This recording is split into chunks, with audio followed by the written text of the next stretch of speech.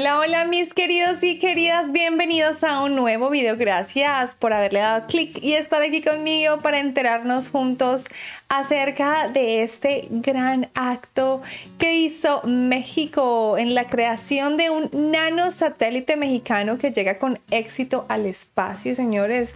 Ustedes que dijeron, viva el talento mexicano y los diferentes profesionales en el área. Y es que ya sabemos también eh, esta última hazaña de la primera mujer mexicana que va a ir al espacio, que tiene un trabajo en la NASA.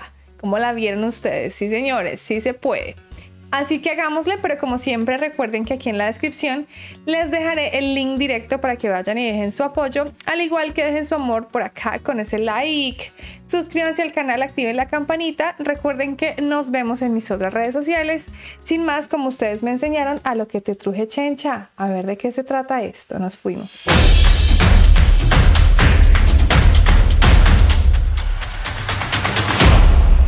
Conociendo México.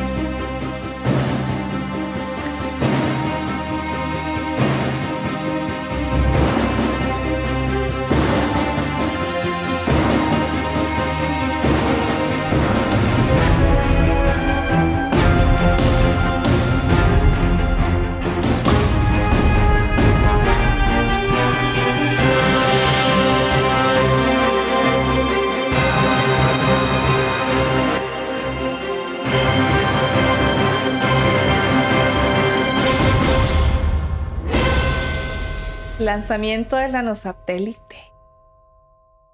El nanosatélite mexicano D2 Atlacón-1 fue lanzado exitosamente por SpaceX desde las instalaciones de la NASA en Cabo Cañaveral, en misión satelital internacional que permitirá avanzar en la formación de estudiantes de México en captación, análisis y procesamiento de imágenes satelitales. Así lo informaron el director general de la Agencia Espacial Mexicana, organismo descentralizado de la Secretaría de Comunicaciones y Transportes, el doctor Salvador Landeros Ayala, el alcalde de Atlacomulco, Estado de México, Roberto Tellez Monroy, y los CEOs de las compañías Space JLTZ y Nanoavionics. En esta misión se logró insertar un importante componente educativo que permitirá formar a nuestra juventud en captación, análisis y procesamiento de imágenes satelitales, al tiempo que abre el camino para desarrollar con la Universidad Autónoma del Estado de México el primer programa piloto de su tipo en la historia del país para impulso de la productividad agrícola con apoyo del nanosatélite. Por su parte, el rector de la Universidad Autónoma de México destacó la innovación que significará emplear recursos satelitales, lo que podrá permitir una mejor planificación del uso de la Tierra, reducción de costos, desarrollo de cadenas de suministros cada vez más sostenibles, conservación de recursos naturales y resiliencia ante desastres, entre otros beneficios alineados con los Objetivos de Desarrollo Sostenible de la Organización de las Naciones Unidas. Con el nanosatélite, hoy el nombre de Atlacomulco llega al espacio, poniéndolo muy en alto con apoyo de la Secretaría de Comunicaciones y Transportes a través de la Agencia Espacial Mexicana. Se avanza haciendo historia en esta cuarta transformación, impulsando el objetivo de seguir construyendo capacidades nacionales en la materia espacial para tareas prioritarias sociales, sobre todo en beneficio de quienes más lo necesitan, subrayó a su vez el alcalde Tellez Monroy. En el mismo sentido, son de destacarse los beneficios para la comunidad estudiantil, como la de la Universidad Politécnica de Atlacomulco, quienes, como señaló su rector René Santín Villavicencio, al formarse en análisis y procesamiento de datos satelitales, podrán obtener con ello habilidades que les aportarán alto valor agregado como profesionistas competitivos en esta nueva era digital. Qué bueno, importante. De igual modo, los beneficios serán extensivos hacia nuestro país, que podrá contar cada vez más con capital humano joven, especializado en el aprovechamiento de nanosatélites para nobles tareas prioritarias sociales, como la protección a la población ante desastres naturales, incendios forestales, educación y salud a distancia, y otros rubros estratégicos. Este lanzamiento por parte de SpaceX de Elon Musk significa toda una nueva fase de la era espacial mexicana, pues abre una era de posibilidades de especialización para la juventud de nuestro país y la propia industria, en este caso con la Alianza Internacional Europeo-Norteamericana con Nanoavionics y Dragonfly Aerospace, socio sudafricano del proyecto, explicó en su momento el presidente de Space JLTZ, José Luis Terreros Corrales. 15 seconds. 10, 9, 8, 7, 6, 5, five, four, three, two, one, zero. Ignition and liftoff. Wow. Vehicles pitching downrange.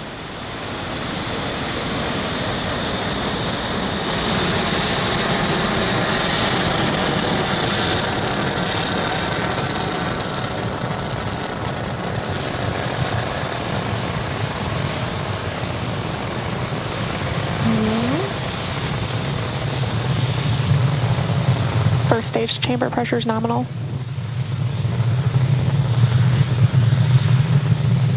We are T plus 42 seconds into flight. Falcon 9 has cleared the tower, and we're currently throttling down in preparation for max Q. That should be coming up in about 20 seconds. Max Q is where the vehicle will experience the highest amount of aerodynamic pressures. Falcon 9 is supersonic.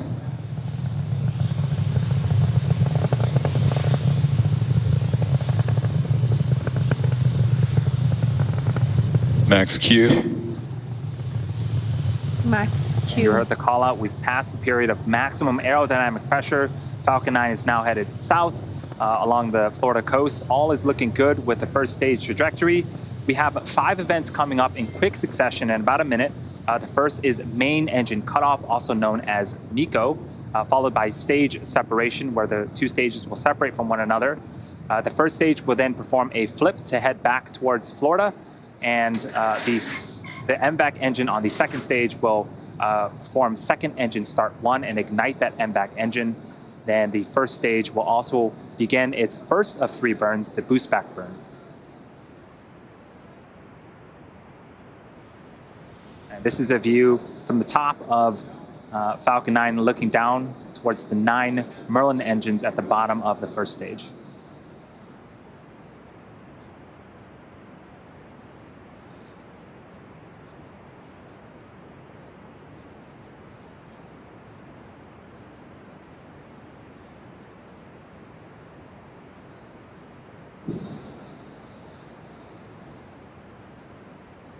Stage separation confirmed. Claro, pues imagínense todo el trabajo puesto en esto. Y que les haya salido bien la misión, pues súper.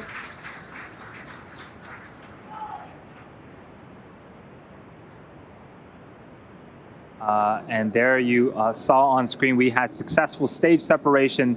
The first stage started performing its flip maneuver. And the boost back burn uh, should be ending in about 25 seconds.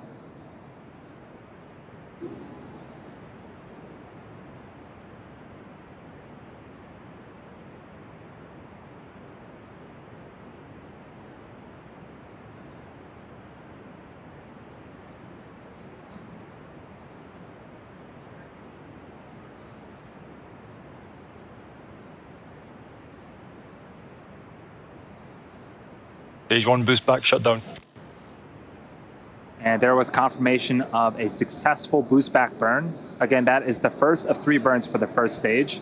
Coming up next is fairing deploy in a few seconds here from the top of the second stage.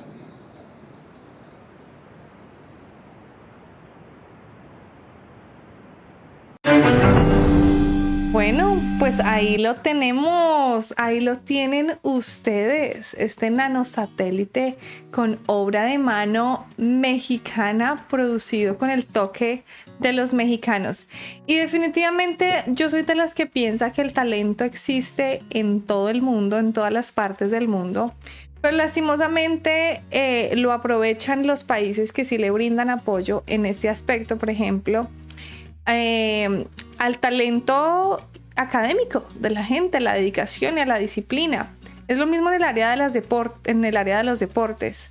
Eh, lastimosamente en nuestros países a veces no se ese apoyo y, y pues es donde los deportistas y también en este caso los profesionales pues se tienen que, eh, ¿cómo decirlo?, movilizar hacia otros países, en este caso, por ejemplo, Estados Unidos. Y eso es algo muy grave, eso se llama fuga de cerebros, cuando en nuestros países no se da ese apoyo y entonces estos profesionales son tomados por otras, por otras naciones o otras nacionalidades, como en este caso sería la estadounidense. Eso pasa demasiado. Ustedes, eh, las personas que viven aquí en Estados Unidos, se han dado cuenta que muchas de esas posiciones eh, profesionales están ocupadas por inmigrantes, quiere decir por personas que no son estadounidenses, sino que vienen de otros países, incluyendo hispanohablantes, incluyendo asiáticos, incluyendo hindús. Entonces ahí es donde uno se da cuenta de que el talento sí existe, pero que es muy importante apoyarlo. En este caso vemos aquí la mano de obra mexicana. A mí me encantan todo este tipo de temas de tecnología y estoy segura de que en México se está haciendo cada vez un trabajo y programas más arduos para que no continúe la fuga de cerebros. Así que a mí me ha encantado esta noticia. Ustedes cuéntenme qué opinan aquí en los comentarios y recomiéndenme otros videos relacionados. Sin más, hemos llegado al final de este video. Recuerden dejar ese like, suscríbanse al canal, activen la campanita. Nos vemos en mis otras redes sociales. En todas estoy como Alexa López Col. Sin más, mi frase favorita ha llegado mi corazón es mexicano, mi sangre colombiana. Nos vemos en un próximo video. Chaito, chaito.